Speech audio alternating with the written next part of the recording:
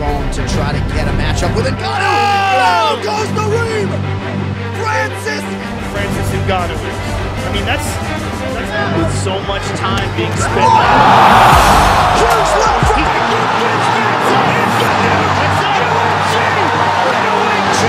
Joe pointed out that Rockhold had that chin up early. He goes body and then over the top with the left.